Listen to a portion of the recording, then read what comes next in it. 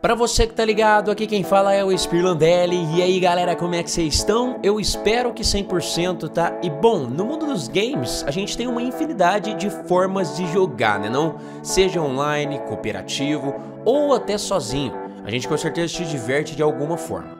Mas a verdade é que com os amigos a parada sempre fica um tanto mais interessante do que o normal. Contar com a ajuda da galera para passar uma missão, né? Ou matar um boss é sempre da hora. Então eu preparei para vocês nessa lista os 10 melhores jogos cooperativos para você jogar com seus amigos esse ano, beleza? Então vamos nessa pra gente ficar por dentro de tudo isso, porque o vídeo só começou. Evangela, watch out!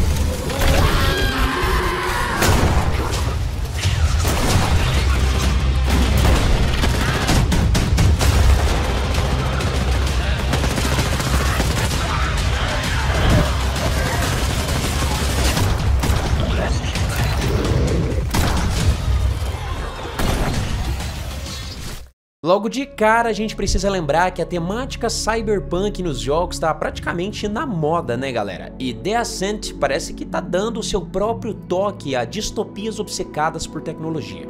Jogado de forma isométrica, o game conta com elementos RPG e permite uma vasta exploração em uma cidade futurística repleta de coisas interessantes e missões pra gente fazer. Além disso, você pode jogar tanto sozinho como cooperativo com os amigos.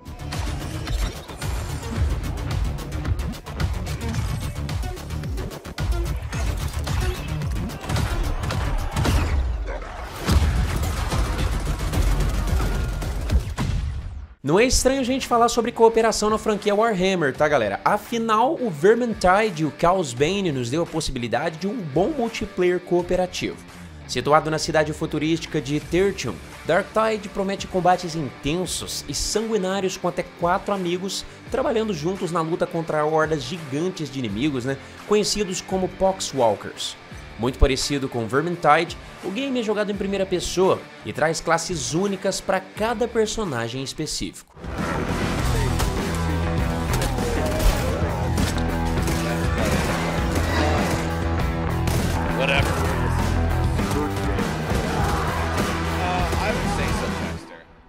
Inspirado em grandes clássicos como Tenchu e The Mark of Kree, Aragami 2 é criminalmente subestimado no que diz respeito a lançamentos independentes. Felizmente, o desenvolvedor planeja revisitar o seu mundo místico em uma sequência que atualmente está né, tá sendo desenvolvida para PC e para consoles. Aqui você joga como um assassino sobrenatural com a capacidade de dominar sombras para se aproximar silenciosamente dos inimigos e assumir o controle de tudo. Aragami 2 vai ter fabricação de armas e armaduras, juntamente com uma árvore de habilidades bastante interessante e um suporte cooperativo para até três amigos jogarem juntos.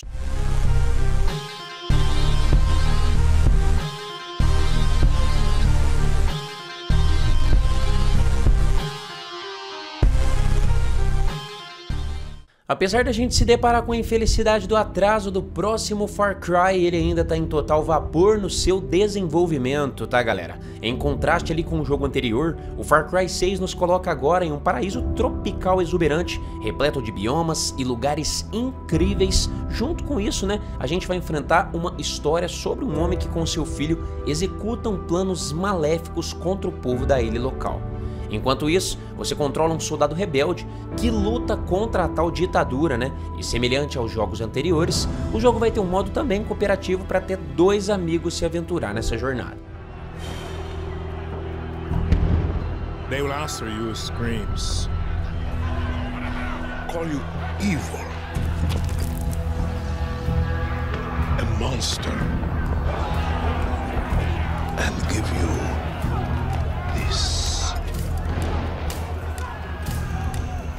So you tell me, are you evil? A gente sabe que a grandiosidade de terror que Outlast apresentou todo esse tempo foi brilhante, né galera? E totalmente single player. Mas ao que tudo indica, Outlast Trials vai mudar um pouco o ângulo de gameplay que os outros jogos da série ofereciam. Até porque agora o foco do jogo é multiplayer.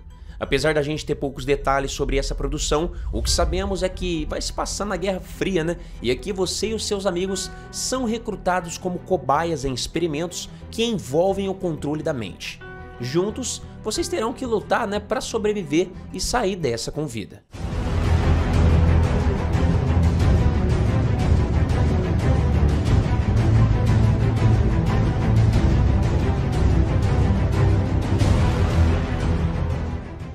Ambientado no mundo perverso de Alien, aqui temos a presença né, de um esquadrão de até três jogadores explorando as colônias espaciais cheias de criaturas xenomorfas mortais. O jogo tem algumas semelhanças ali com Left 4 Dead, mas contém uma série de armas, tipos de inimigos e níveis inspirados na sua própria originalidade. Existem cinco classes com especializações exclusivas e aqui os jogadores podem desbloquear armas, habilidades e personalizações adicionais ao longo da sua jogatina, né? Subindo cada vez mais de nível.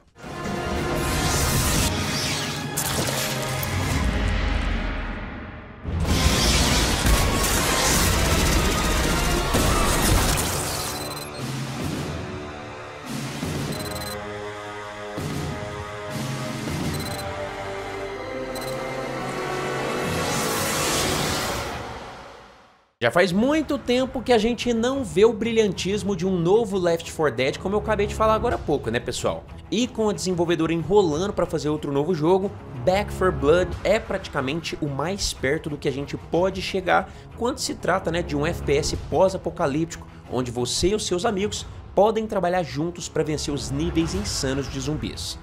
Back 4 Blood vai incluir gêneros básicos como co-op local e online para até 4 jogadores, centrado em uma campanha de história que pode ser refeita quando o jogador quiser. Além disso, o game vai contar com um modo PVP, onde você pode controlar os monstros e atacar outros jogadores.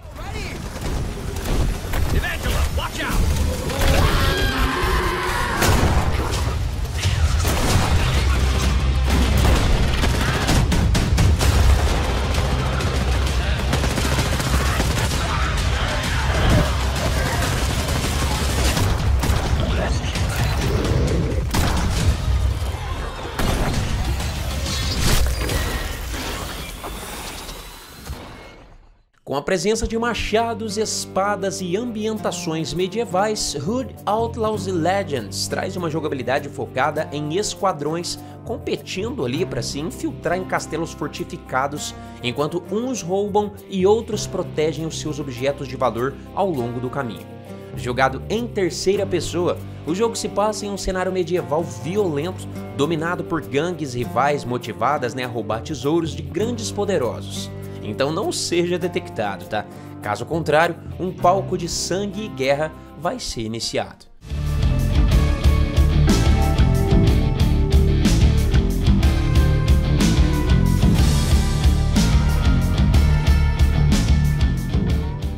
Marcando de forma extremamente positiva esse gênero cooperativo nos games, It Takes Two foi uma das experiências mais incríveis que a gente presenciou em 2021, né pessoal?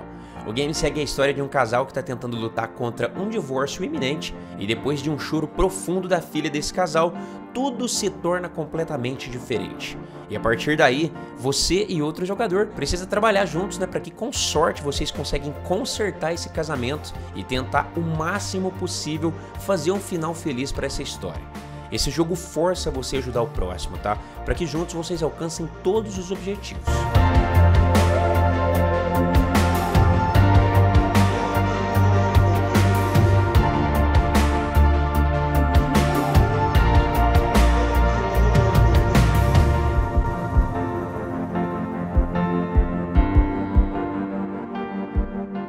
Apesar de você poder jogar Outriders sozinho, como a gente sabe, pode acreditar, viu? Jogar com os amigos é ainda mais da hora. O sistema de níveis do jogo é muito bom e permite que você possa ir para qualquer ponto da história desde o menu principal, tá galera? Ou seja, isso se torna ainda mais fácil, né, para seus amigos participarem da gameplay, independente do nível de cada um.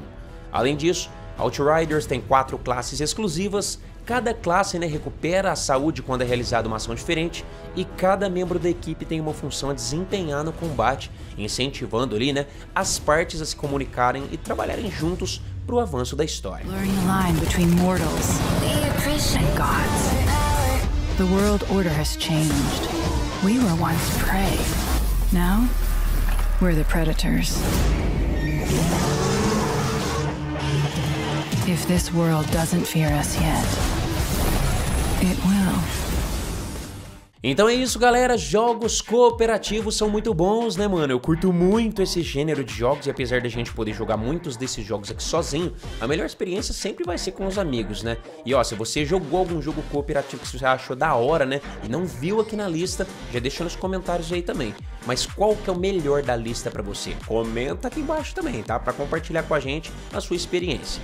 Lembrando que seu like é de extrema importância para o canal crescer e ser mais divulgado ainda, né? Sem esquecer de se inscrever se você quiser ficar antenado de todos os vídeos e de todas as novidades que eu posto aqui ativando o sininho.